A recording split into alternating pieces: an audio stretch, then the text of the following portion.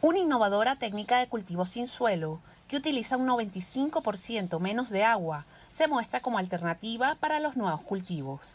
Y es precisamente lo que se desarrolla en la Universidad de Talca en Chile bajo el liderazgo de Gilda Carrasco, una académica experta en agricultura vertical que trabaja en la producción de cultivos sustentables.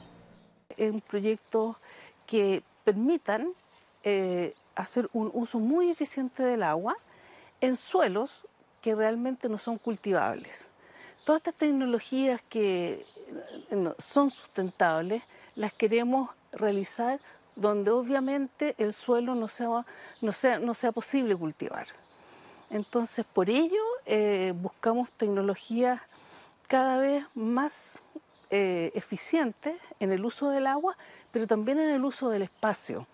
Y por ello hemos ahora, hace más de tres años, llevamos un proyecto en agricultura vertical.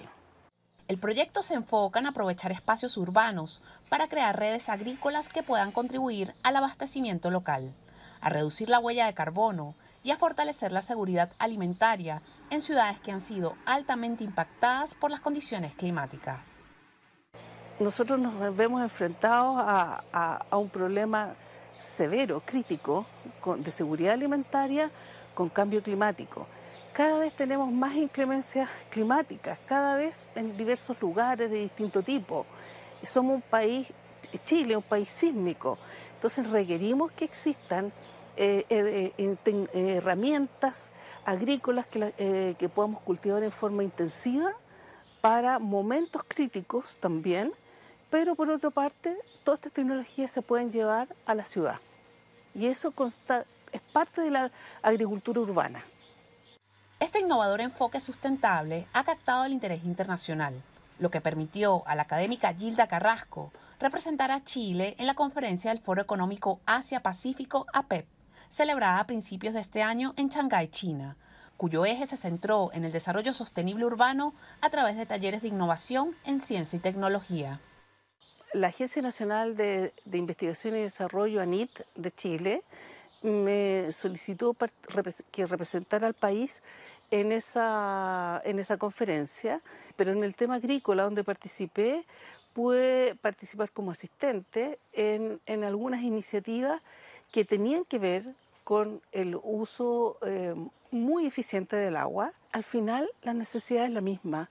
Se requiere de que exista una mayor tecnología al alcance de mayor número de productores y de personas que viven en las ciudades eh, para asegurar la alimentación.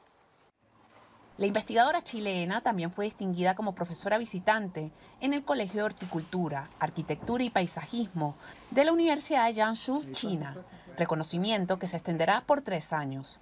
Este honor, en opinión de la experta, fortalecerá el acuerdo existente con la Universidad de Talca, promoviendo la colaboración en investigación y desarrollo en áreas de horticultura y protección vegetal. Eh, tuve la grata sorpresa de que ellos me nombraran como profesora visitante desde el 2024 al 2027 con el College de Horticultura y Paisajismo de la Universidad de Jiangsu. Eso significa que esperamos que el 2025 concretemos un proyecto eh, que, tenemos que postularlo desde la Universidad de Talca a nuestra Agencia Nacional de Investigación y Desarrollo ANIT eh, de vinculación internacional para que colegas tanto de China como de Chile, de Talca, puedan eh, tener un eh, visitarnos y conocer la realidad in situ. Este proyecto de agricultura vertical actualmente produce hortalizas inocuas, es decir, limpias y saludables, respondiendo así a la creciente demanda de los consumidores que optan por alimentos más naturales y seguros. Aquí uno lo que busca es que los jóvenes, los estudiantes de agronomía, eh, tengan conocimiento de nuevas tecnologías que son complementarias a las del suelo.